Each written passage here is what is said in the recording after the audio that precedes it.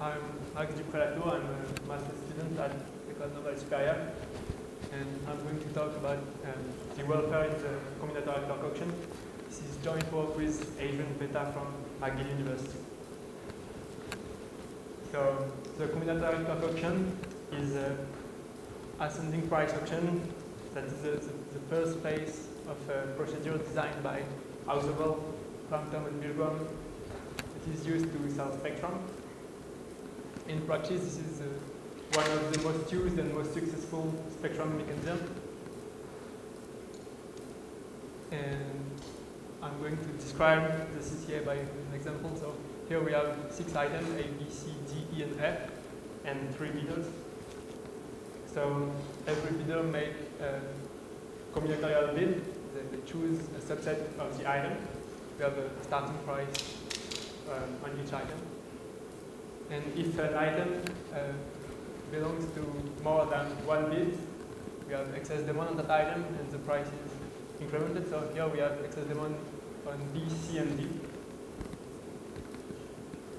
And we keep going, so they make another bid.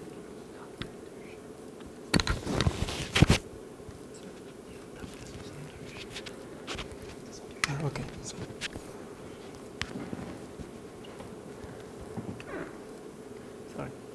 And so here we have excess demand on A and C. So the price on those items is incremented. And here the bids are disjoint. So we stop the auction, and this is the final allocation. So the green bidder pays 5 and get A and C, and the, the blue bidder pays 4, the red bidder pays 1 and get E. So this is the, the idea of the mechanism. Now I want to be a little more precise with the model. So we have a set of M items and, and bidders. And for every item and set, subset of, uh, every subset of item and every agent, we have a valuation that is VI of S. And the, the welfare of an allocation is just the sum of the valuation of, the, of each bidder. So. Um, we have a, a, previous work in the SODA paper of 2016 by Bousquet et al. that showed that uh, three conditions was necessary to have a good welfare with this, the CCA. First, we need to uh, use all the bids uh, that, are, uh, that are made during the auction and not only the final bids. And so you, you take all the bids done in all the round and compute the revenue maximizing allocation. The second important condition is uh, the price increments. You have to use uh, a price increment that is linear in demand. I will uh, explain a, a, bit more this condition in the next slide.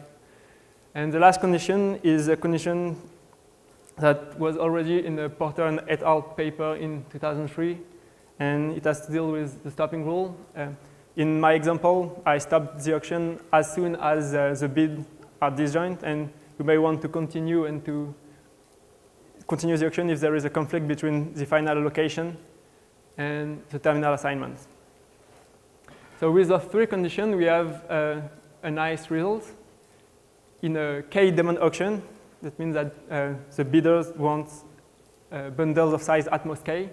With truthful bidding, um, we have a welfare ratio of at most k squared log n log m squared. This is uh, a good ratio because it's polynomial in log m and log m squared. But for some reason, it's not uh, completely satisfying. And the main reason is, so uh, the welfare ratio is the worst case ratio between the welfare of the CCA allocation and the welfare of the optimal allocation.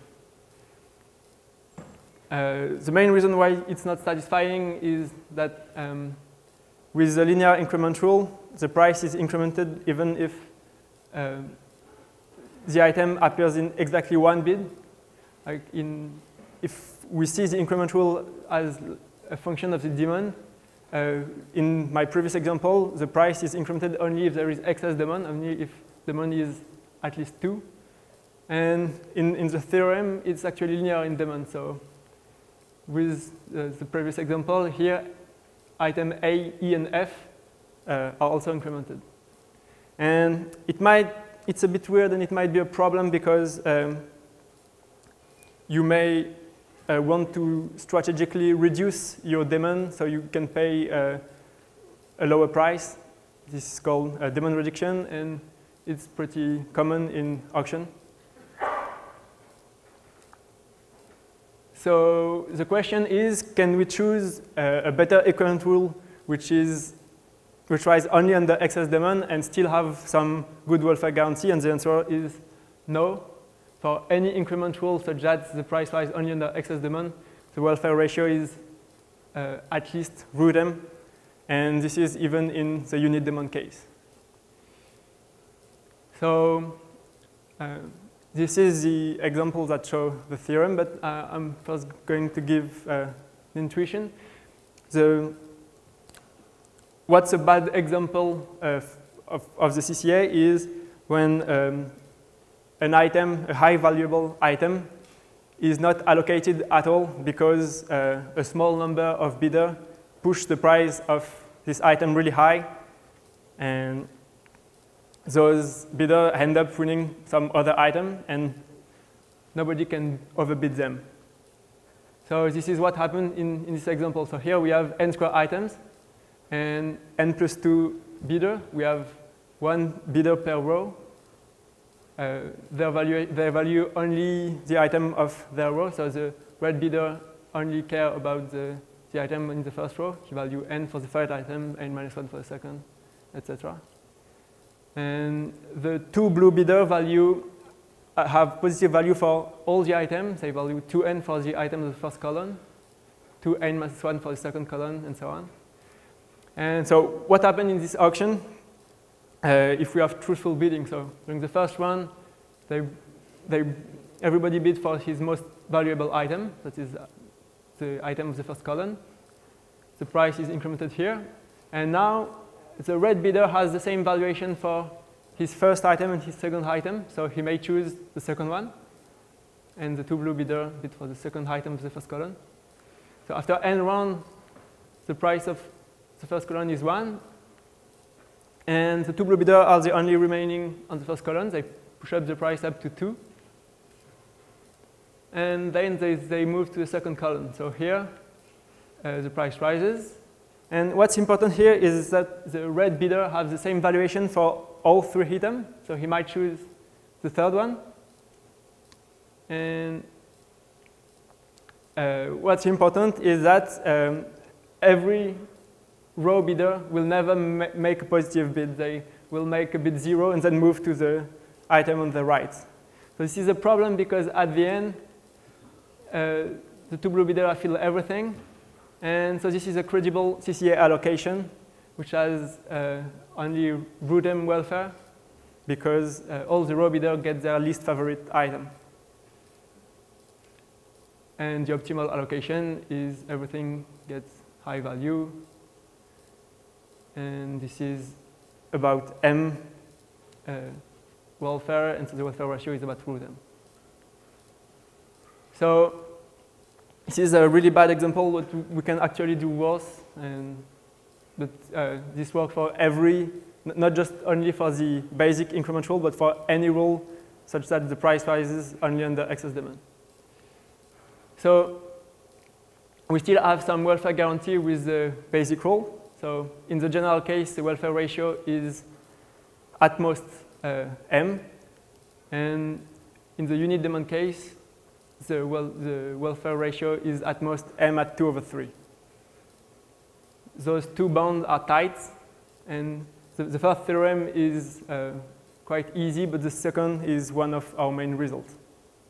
I'm not going to explain the proof, but um, the, those bonds are really bad, so we might want to still use the, the increment rule that is linear in demand. Uh, the problem is uh, the truthfulness assumption is not credible at all if, because you, you might face some demand reduction problem. So we might want to get rid of the truthfulness, and that's what we do here. So we can do that by making two assumptions. The first one is no overbidding. You cannot make a bid if you have negative utility.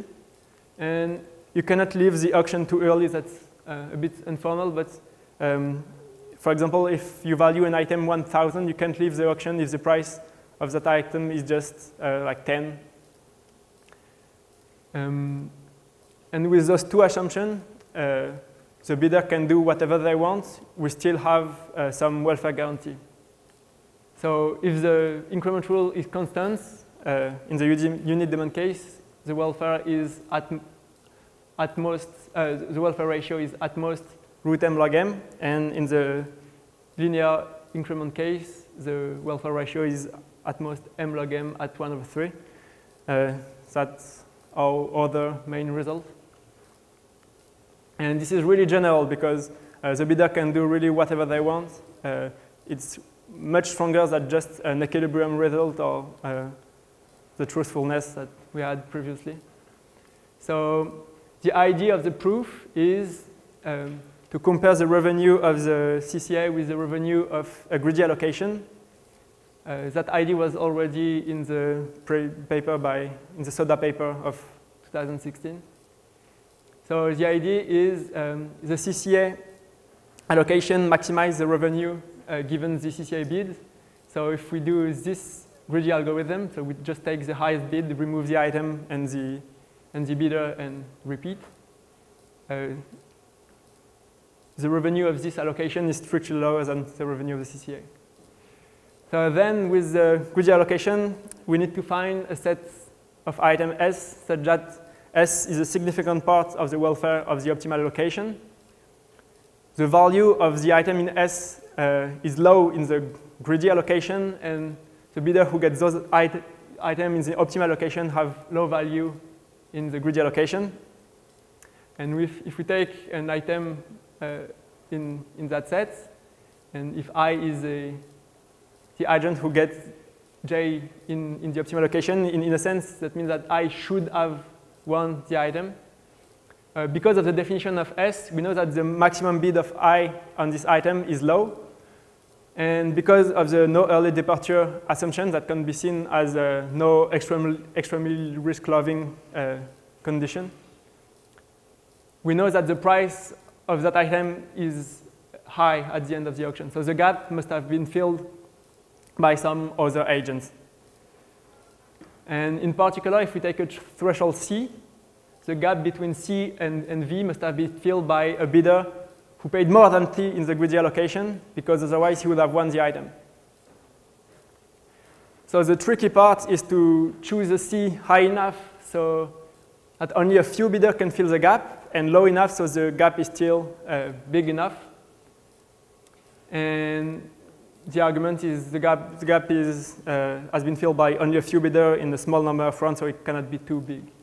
So uh, the technical part of the proof, this is just a, a sketch, but the, the, technical part of the proof is to find such a set S and such a threshold C.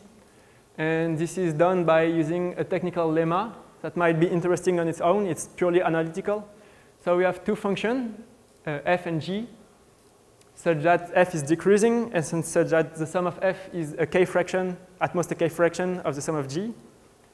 And the lemma is there exists a couple C and P such that uh, this area, the sum of uh, G minus C uh, from P to M, is at least a log fraction of the whole sum of G. And this area here uh, fp times f minus 1t is at most a k fraction of the sum of f. And this is uh, the technical part of, of the paper. And what are the, the practical conclusion of what we have done? The first one is that the choice of the increment rule is really crucial if we want to achieve good welfare. In particular, uh, you may want to, to increment even if um, even if the, the demand is uh, just one, if, if you have no excess demand. And the second one is that the stopping rule is really important too, because the longer the, the, auction lasts, uh, the less the auction is sensitive to strategic behavior. And that's it. Thanks.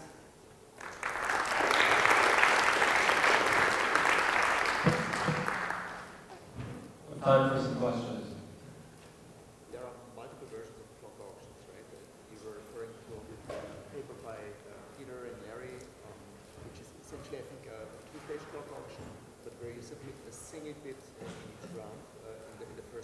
Yeah. Uh, But I think what you're analyzing is uh,